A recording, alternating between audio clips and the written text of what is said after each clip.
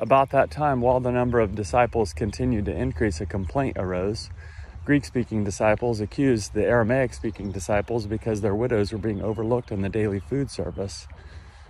The twelve called a meeting of all the disciples and said, It's not right for us to set aside proclamation of the word in order to serve tables.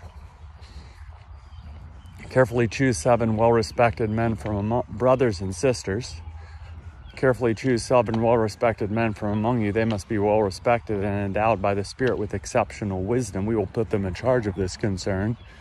As for us, we will devote ourselves to prayer and the service of proclaiming the word. This proposal pleased the entire community.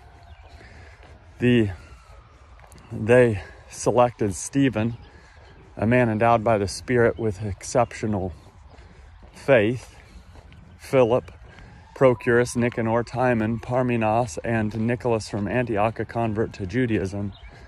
The community presented these seven to the apostles who prayed and laid their hands on them. who prayed and laid their hands on them. God's word continued to grow.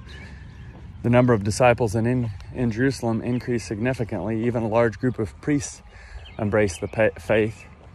Stephen, who stood out among the believers for the way God's grace was at work in his life and for his exceptional endowment with divine power, was doing great wonders and signs among the people. Opposition arose from some who belonged to the so called synagogue of former slaves.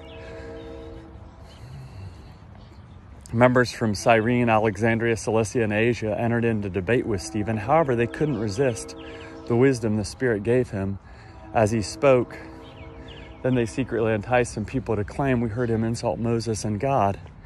They stirred up the people, the elders, and the legal experts. They caught Stephen, dragged him away, and brought him before the Jerusalem council. Before the council, they presented false witnesses who testified.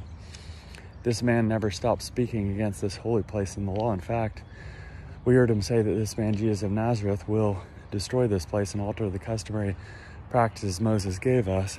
Everyone seated in the council stared at Stephen and they saw that his face was radiant, just like an angel's.